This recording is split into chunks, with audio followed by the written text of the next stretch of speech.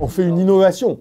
Faut dire aux gens aujourd'hui, après que toute l'équipe autour ait considéré que quand on me mettait 20, centimes dans la machine, je parlais trop longtemps, c'était un enfer à monter, puis j'étais pas cohérent. Ils se sont dit, bon, non, tu fermes ta gueule, tu vas écrire tes textes comme tu les faisais avant. Et donc, à partir d'aujourd'hui, j'ai un prompteur. Donc, ça va, être, ça va être intéressant, ça va être une nouvelle expérience. Green Knight. Pourquoi Green Knight? Parce que. Bah, en fait, euh, je vais pas dire c'est un chef-d'œuvre, même si j'aime beaucoup le film. Mais s'il m'avait fait le même effet que Ghost Story, c'est-à-dire son pouvoir évocateur aurait été d'autant plus puissant à mesure que le film progresse. J'aurais considéré, considéré ça comme un chef-d'œuvre absolu, mais je trouve ce mec fascinant. Bring it on.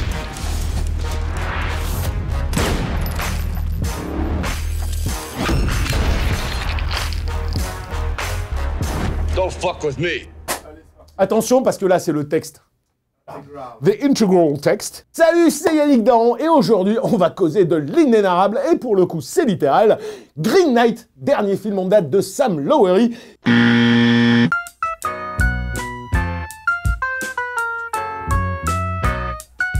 qui aurait mérité une vraie sortie salle, mais qui s'est échoué sur Amazon Prime depuis le 3 janvier. Reste encore des amateurs de grand cinéma dans les méandres digitaux qui nous assiègent, alors voici de quoi épancher leur soif de mythologie, de quoi les purger de l'analphabétisme cinématographique qui souille si souvent leur rétine, de quoi surtout leur redonner le droit d'espérer et la force de croire.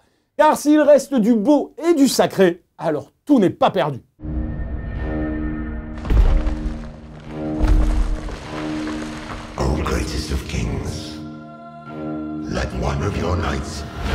try to land a blow against me. Indulge me in this game. I will be Que les choses soient claires, n'eût été sa seconde heure un chouïa moins hypnotique et transcendante, c'est donc même à quelques affaîtries de montage qui en amoindrissent la symbolique, j'aurais considéré Green Knight, nouvel ovni du réalisateur de Ghost Story et de The Old Man and the Gun, comme un véritable chef-d'œuvre revisitant avec une forme de foi désenchantée une célèbre légende arthurienne qui elle-même dénotait subtilement du tout venant des romans chevaleresques écrits entre le XIe et le XIVe siècle, Lowery impose du cinéma pur à la croisée des genres et de styles divers qui se font dans une vision unique d'une puissance évocatrice quasiment disparue au cinéma aujourd'hui.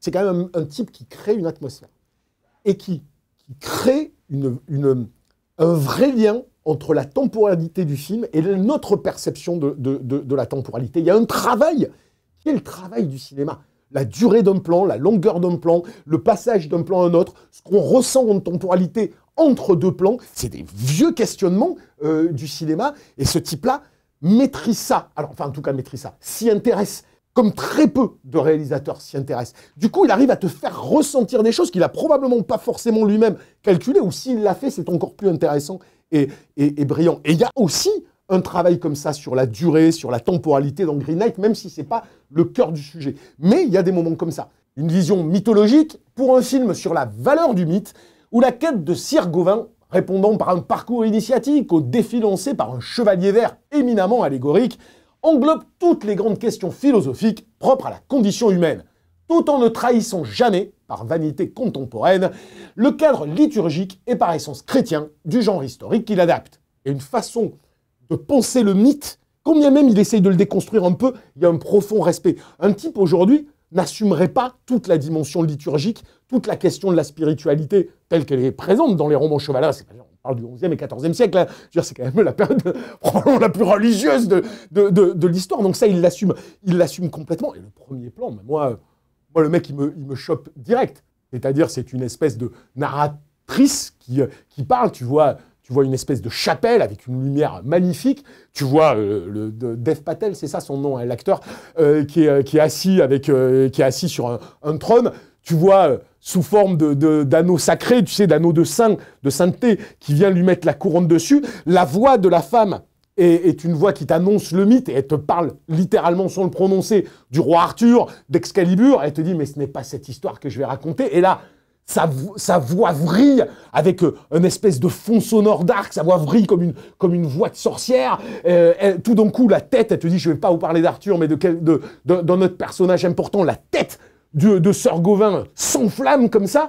Enfin, il y a tout ce que je kiffe. le travelling que je kiffe, le cadre que, que, que, je kiffe, la mythologie qui est portée par la voix de cette femme-là, et le questionnement existentiel, parce que tout de suite, tu as le symbole de la tête. La tête, ça va revenir pendant tout le récit, parce que c'est un récit de, de décapitation, de la tête et le corps, de je dois chercher la tête. La tête qui s'enflamme et la caméra qui remonte et qui, dans le cercle de la chapelle, te cadre les étoiles et donc la cosmogonie et tout ce que ça implique derrière. Je en un plan, le mec, il me pose tout ce que je kiffe dans le cinéma, en fait. Sur un cinéma de mythe. Et, et, tous ces plans-là, tout, enfin, tous ces éléments-là agencés, la lumière, le son, le cadre, euh, ce, qui est, ce qui est dit, moi, me, me poser le mythe comme l'évidence du meilleur socle de questionnement de l'humanité sur elle-même. Véritablement. Et c'est ça que j'aime dans ce film-là. C'est qu'aujourd'hui, on casse les mythes, on ne fait que ça, déconstruire, déconstruire les mythes. Et, euh, et d'avoir un type qui reprend ça et qui te fait comprendre la valeur du mythe, non pas pour te dire de croire, bah, la spiritualité y est liée, bien évidemment, mais en tout cas pour te questionner, pour questionner la condition humaine. Qu'est-ce qui nous fait vivre Qu'est-ce qui nous fait croire Qu'est-ce qui nous fait tenir Qu'est-ce qui nous fait espérer Et euh, on ne le trouve pas euh, dans la gestion d'une banque ou d'une entreprise, ça. Nature et civilisation, foi et religion, sens des valeurs et fonction du sacré, amour et tentation, honneur, bassesse et sacrifice, tout y passe. Parfois, de façon, là, je commençais à approcher dangereusement de la fin et de me dire, je ne vais pas arriver à lire la, truc suivante. C'est pas moi le problème. Ah c'est le prompteur ou Alain. Bien sûr. Voilà. Bon, alors, on recommence. Parfois de façon trop cryptique, parfois de manière trop simple. Sans doute même maîtrise-t-il moins bien son appétence pour les jeux de temporalité dans la seconde partie. Mais eu égard à la médiocrité hallucinante de la majorité des pseudo-films qu'on se tape aujourd'hui, impossible de faire la fine bouche devant une œuvre aussi envoûtante, aussi dense, aussi visuellement sublime et enrichissante. J'ai presque envie de dire que Green Knight me transporte au-delà de l'expérience. C'est un film en vérité métampirique, comme il en existe peu, et de mémoire, peut-être seul Paprika de Satoshi Kon m'avait produit un tel sentiment de transcendance. Quand je dis ce sentiment de transcendance, quand je dis c'est que c'est au-delà de l'analyse, au-delà de l'intellect. C'est quelque chose, tu sais, moi, j'ai souvent dit ça sur Paprika, que j'avais, euh, qui m'avait transporté le film c'est que je ressentais viscéralement les questionnements métaphysiques. C'était pas, tu vois, c'était pas mon cerveau qui analysait en temps réel. Et ce film me fait pareil. C'est pour ça que je dis, il est un peu trop cryptique par moment.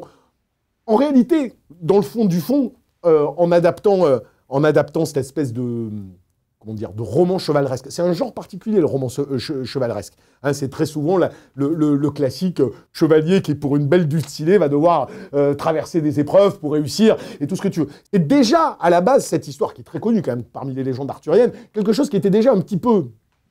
qui cassait un petit peu le mythe, sans que ça soit à ce point-là. Et dans celui-là, il le fait un petit peu, il le déconstruit. Le personnage de Sir Gauvin n'est pas le chevalier héroïque tel qu'on l'imagine, c'est plutôt un mec, euh, tu te dis, c'est un peu un loser, c'est un peu, il est puéril, il est un peu infantile, il n'est pas à la mesure de ce qu'il va faire. Mais progressivement, évidemment, il va, il, il va se poser ces questions existentielles qu'il traduit par des effets parfois oniriques. Alors, une scène avec des géants qui est assez particulière, euh, des scènes d'errance euh, euh, ou d'errement, je ne sais plus comment on dit, dans la forêt, qui sont un petit peu, un petit peu longues et qui sont un petit peu des fois qui forcent un petit peu le, comment te dire, le, le cryptique. C'est ce que j'ai voulu dire c'est-à-dire qu'on ne te donne pas toujours des clés. En fait, tu revois le film derrière. tu oublies des petites affaîtries oniriques qui fait à droite à gauche ou la longueur de certains plans et tu te rends compte que c'est assez, c'est assez limpide. Évidemment, Lowery n'aurait probablement pas choisi un tel sujet si la lancinante torture que représente l'acceptation de la mort ne trouvait un écho particulier aujourd'hui. D'ailleurs, a-t-il remonté son film pendant la pandémie suite à cette angoisse existentielle qui s'est décuplée?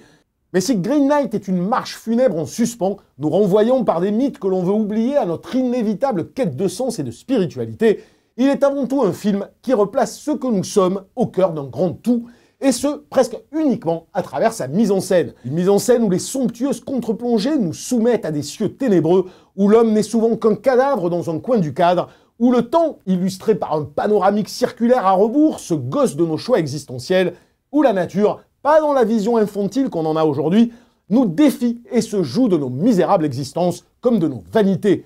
Même la lâcheté appuyée de Gauvin, déconstruction évidente et un peu facile du matériau qu'il adapte, se retourne contre notre vision très actuelle de la déconstruction en un cut brutal au dernier plan du film qui nous gifle sur notre rapport présomptueux à notre propre fin. Finalement, Gauvin a le courage de faire face à la mort. Il y a un plan comme ça qui est, assez incroyable, où tu vois euh, le personnage de Sir Gauvin qui a été euh, chopé par des bandits et qui est attaché au sol contre un arbre. La caméra euh, est sur lui, et puis elle se met à panoter très lentement, très lentement, elle tourne dans la forêt autour, elle revient sur lui, il est mort. Tu dis, ok, c'est son destin, c'est son devenir, c'est une possibilité de devenir, et la caméra repart immédiatement en sens inverse, revient, et, te replace dans le temps présent où était le film. Il fait un autre effet de temporalité de la même manière, qui, sont des, des réflexions purement cinématographiques, comme les frères Cohen le faisaient déjà, et sans griller euh, davantage, repenser à la fin euh, de Raising Arizona, par exemple, qui joue sur cette, euh, sur cette réflexion-là, et il fait un petit peu la même chose dans, dans, ce film à la fin. Donc ce mec-là, en tout cas, se pose des questions de cinéma, et surtout, il se pose des questions de pur langage cinématographique. Allez, ça tourne à l'envers. voilà. Bon, bref. C'est bien la mise en scène métaphorique et virtuose qui emporte l'adhésion et double le récit déjà allégorique d'une volonté de bousculer subtilement nos croyances, quitte à jouer parfois double jeu.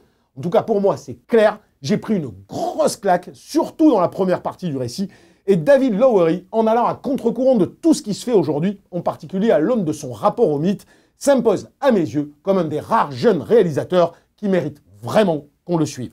Les gens pensent même, vous, à Capture, qu'on n'aime rien ou quoi que ce soit, mais je veux dire, quand on, quand on a grandi euh, effectivement avec euh, des Cameron, des, euh, des Spielberg, des, des, Scorsese, des mecs qui ont fait quand même, qui ont marqué l'histoire du, du, cinéma. Depuis quelques années, on est toujours en train de se dire, mais cite-moi Cite-moi quatre mecs euh, sur les doigts d'une main qui sont aussi importants, qui apportent quelque chose d'aussi, d'aussi fort au langage cinématographique. Moi, ça faisait un moment que j'avais lâché l'affaire. Je me rappelle, il y a encore 2-3 ans, je parlais du, euh, du, type qui avait fait euh, Whiplash et, La La Land, que, que j'aime bien, que je trouvais être un mec intéressant à suivre. J'étais pas non plus à sauter au plafond. Moi, je découvre David Lowery, je le redécouvre parce que je l'ai découvert un peu comme ça, et je le redécouvre et je me dis, ce mec, il est vraiment super intéressant. J'ai vraiment envie de suivre, de suivre ce type-là. Ça me fait pas ça souvent. Et puis, quand on parle de ça, on parle de grands réalisateurs, mais c'est des mecs qui ont 70, 80 balais. Là, pour une fois, on a un mec qui a, je sais pas quel âge il a, mais il a pas 40 ans, quoi, ou il en a peut-être juste 40. Donc, il y a encore beaucoup de temps devant lui pour faire des films. Et ça fait plaisir d'avoir un mec qui a son univers. Les gens peut-être euh, euh, sont moins intéressés par l'ambe, mais là, ça fait quand même depuis un petit moment, je parle, je découvre des mecs qui font leur truc dans leur coin, qui sortent des canons, des attentes pseudo à la con, et, euh, et qui sont pas dans un moule. Et ils font, ils font leur trip, ils ont leur univers, ils ont leur singularité. Ça, ça fait plaisir. Et j'espère que ce mec-là continuera à pouvoir faire des films. Donc voilà, bon, bref, c'est un mec intéressant. Vraiment intéressant. Ça fait plaisir. Ça fait plaisir, moi je te dis. Il mérite que je lui amène des boulettes. Voilà, la minute d'un, c'est terminé. Je vous rappelle que vous pouvez voir cette émission, enfin écouter cette émission aussi en podcast toutes les infos sont sur euh, la description euh, en dessous de la vidéo. Vous pouvez liker, vous pouvez partager, vous pouvez faire plein de trucs. Et la semaine prochaine, on parlera d'un film que j'attends avec impatience puisque c'est le dernier film des frères Cohen, la tragédie de Macbeth, qui hélas débarque directement en VOD sur le service euh, Apple TV+, c'est ça, hein, je crois, et non pas au cinéma, ce qui est malheureux. Mais c'est pas grave, on en parlera quand même. Allez, à la semaine prochaine.